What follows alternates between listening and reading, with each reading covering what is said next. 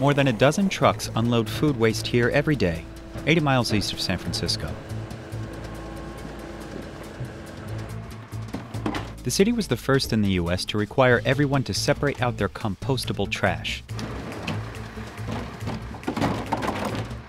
Fruits, vegetables, tree branches, and cardboard decompose here until they're ready to be spread across surrounding farmland.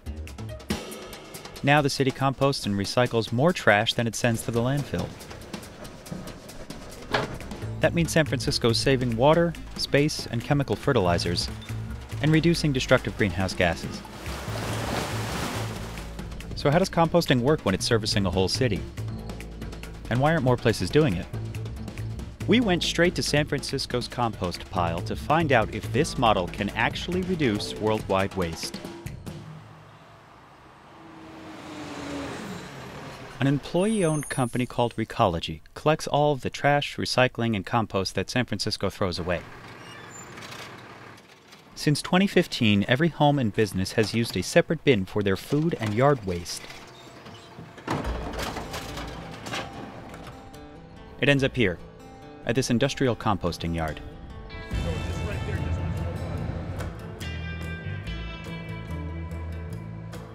It doesn't look pretty now, but here in a little bit I'll show you the pretty part. The process is designed to mimic what happens in nature. It's just like leaves falling on the ground around a tree. But instead, we're using banana peels and coffee grounds. We're making a beautiful nutrient-rich compost. The whole thing takes 60 days, and it does require machinery like this. This one here is a Lubo screen. What, what it uses is big rubber stars. And all the organics fall through, and everything else bounces over the top of the stars as they spin. The separator weeds out most of the plastic that people accidentally put in the compost bin. That goes to the recycler or the landfill. An 8 foot wide trommel spins everything to sort it again by size, this time into smaller pieces. The larger things pass by over the top on a conveyor belt. Workers like Abby Morales pick out chunks of wood, metal, or anything that is too large to break down in the compost process. A lot of people look at this as trash, and for the most part, that's what it is, trash. But at the same time, the other day I was just doing my job, and in the trash I found a treasure, $20.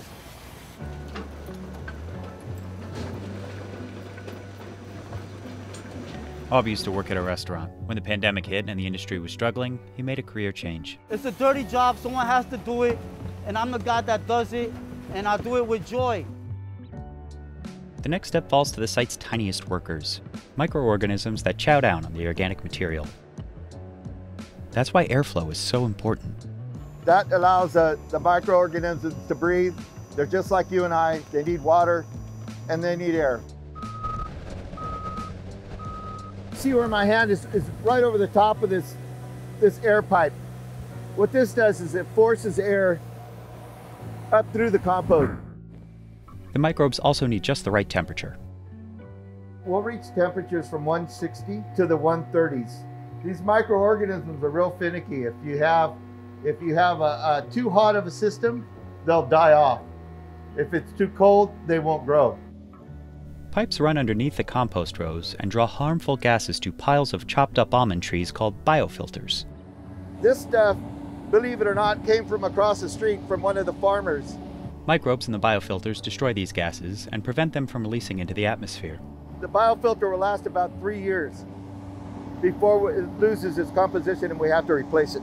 They spray water onto the compost rows to keep the material moist throughout the entire process.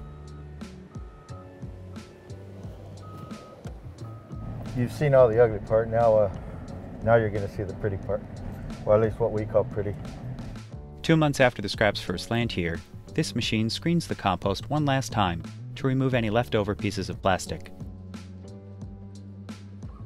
Here's what you see in the finished product. Nice moisture content, a um, lot of organics in there.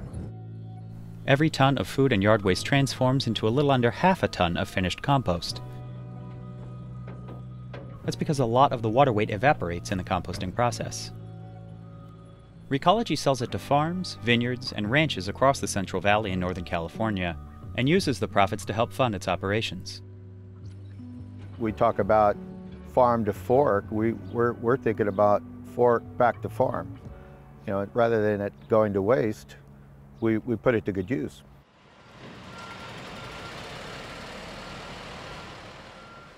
This is San Francisco's main waste transfer station for compost and trash. This 18 foot deep garbage pit used to get filled to the brim every day. But now? It might be three feet deep or four feet deep, and, and sometimes we can see the concrete bottom. Today, San Francisco keeps most of what it throws away out of landfills. That's a big change from 25 years ago, when California was running out of space to bury its trash.